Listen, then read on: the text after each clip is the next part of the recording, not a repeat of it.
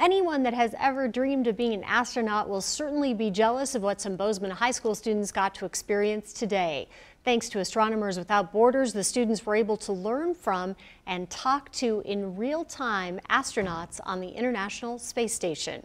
MTN's Morgan Davies has more on what the students learned and how they got an inside look at the ISS.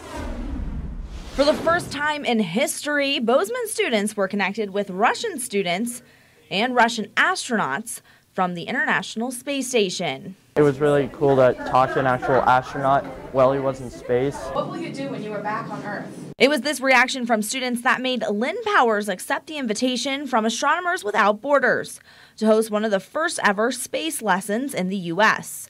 Space Lessons was produced by Russian company RT360.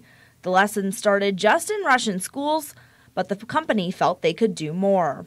It is a great example of what we can achieve together. Besides talking to the astronauts, Bozeman students were able to ask Russian students questions and see them perform experiments. It was really cool to see like what they were doing in their schooling and it was just really cool to see like what their classroom looked like and what they had to say and like their uh, home experiments too.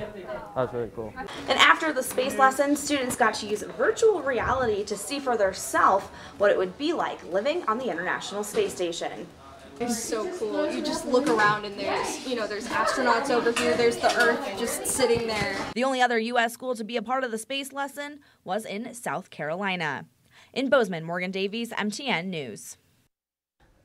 All right, looks like a lot of fun. If you'd like to learn more about Astronomers Without Borders, you can visit us online.